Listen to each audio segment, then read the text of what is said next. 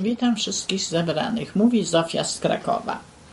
O doskonałości. Zobacz Mateusza, rozdział 5, werset 48. Dla wielu ludzi jedną z najbardziej zaskakujących wypowiedzi Jezusa jest ta zawarta w kazaniu na górze. Bądźcie wy wtedy doskonali, jak Ojciec Wasz Niebieski doskonały jest. Mateusza, rozdział 5, werset 48 ciągu wieków sumienni chrześcijanie starali się dosiągnąć ideału, który, jak wierzyli, wskazał Chrystus, osiągnąć stan zupełnego zwycięstwa nad światem, e, ciałem i diabłem. Niektórzy piczowali się, głodzili, inni odbywali pełne trudów i niebezpieczeństw pielgrzymki, a jeszcze inni starali się osiągnąć ten cel przez skrupulatne zachowywanie przykazań Bożych. W każdym przypadku cel był szlachetny. Jednak o czym tak naprawdę mówił Pan w Mateuszu 5, werset 48. Porównaj następujące pary wersetów biblijnych. Zwróć uwagę, w jaki sposób uzupełniają się one wzajemnie i równoważą. Mateusza, rozdział 5, werset 48. Bądźcie wy tedy doskonali, jak Ojciec Wasz Niebieski doskonały jest. Przepraszam. Mateusza 7, rozdział 7, werset 7 do 11. Proście, a będzie wam dane, szukajcie, a znajdziecie, kołaczcie, a otworzą wam. Każdy bowiem, kto prosi, otrzymuje, a kto szuka, znajduje, a kto kołaczek, temu otworzą. Czy jest między wami taki człowiek, który gdy syn będzie prosił o chleb, da mu kamień, albo gdy go będzie prosił o rybę, da mu węża? Jeśli tedy wy, będąc złymi, potraficie dawać dobre dary dzieciom swoim, o ileż więcej Ojciec wasz, który jest w niebie, da dobre rzeczy tym, którzy go o to proszą. Przepraszam. Mateusza, rozdział 10, werset 34-39. Nie mniemajcie, że przyszedłem przynieść pokój na ziemię. Nie przyszedłem przynieść pokój, ale miecz, bo przyszedłem, przepraszam, poróżnić człowieka z jego ojcem i córką, i córkę z jej matką, i synową z jej teściową tak to staną się wrogami człowieka domownicy jego. Kto miłuje ojca albo matkę bardziej niż mnie, nie jest mnie godzien i kto miłuje syna albo córkę bardziej niż mnie, nie jest mnie godzien. I kto nie bierze krzyża swego, a idzie ze mną, nie jest mnie godzien. Kto stara się zachować życie swoje, straci je, a kto je straci, życie swoje dla mnie znajdzie je.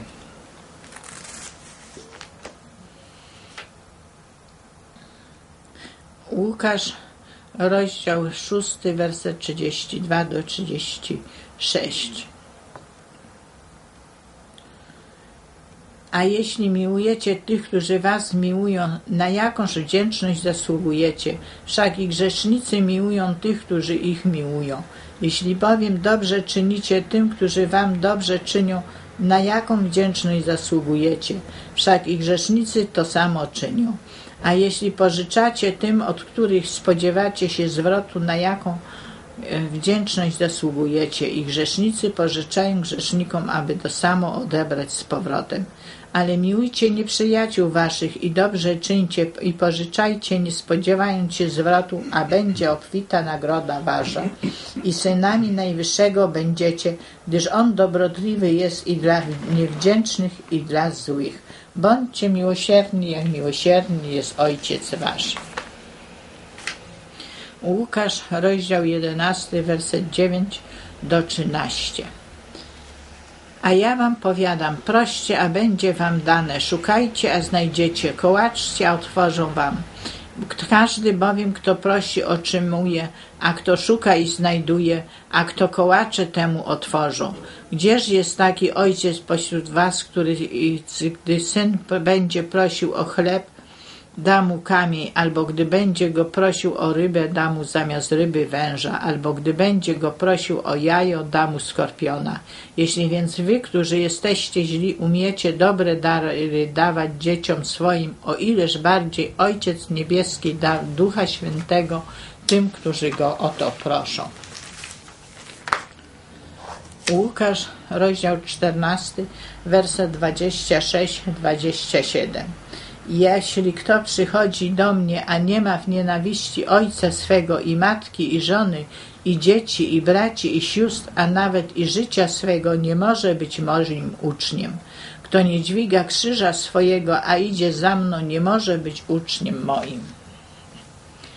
Pozornie surowy język Jezusa w Łukaszu, rozdział 14, werset 26 do 27, zostaje złagodzony przez porównanie z Mateusza, rozdział 10, werset 34 do 39, gdzie, jak sądzę, otrzymujemy lepszy obraz tego, co Chrystus chciał wyrazić podczas gdy w fragmencie z Mateusza, rozdział 7, werset 7 do 11 na temat modlitwy Jezus obiecuje nam, że otrzymamy dobre dary, co może sugerować dobra materialne.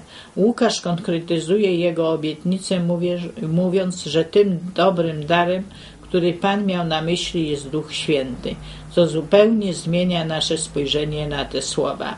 Podobna synteza dotyczy ostatniej pary wersetów. Podczas gdy w Mateuszu rozdział 5, werset 48 Jezus mówi Bądźcie wy tedy doskonali. Łukasz trafniej oddaje jego słowa Bądźcie miłosierni, co jest zdecydowanie bliższe kontekstowi kazania Chrystusa. W Ewangelii Łukasza kontekst dotyczy miłowania nieprzyjaciół i pożyczania dóbr bez spodziewania się ich zwrotu. Czyniąc tak, stajemy się według Jezusa synami Najwyższego, gdyż On dobrotliwy jest i dla niewdzięcznych, i dla złych. W Ewangelii Mateusza sytuacja jest identyczna. Werset o doskonałości poprzedzony jest mową o miłowaniu nieprzyjaciół, modleniu się za krzywdzicieli oraz o tym, że Bóg zsyła deszcz i światło słońce, słońca jednakowo na sprawiedliwych i bezbożnych. Zatem Chrystus pragnął zachęcić nas, byśmy naśladowali naszego niebieskiego Ojca, który jest dobry dla wszystkich i nie jest stronniczy. W tym kontekście takie jest właśnie znaczenie słowa doskonały.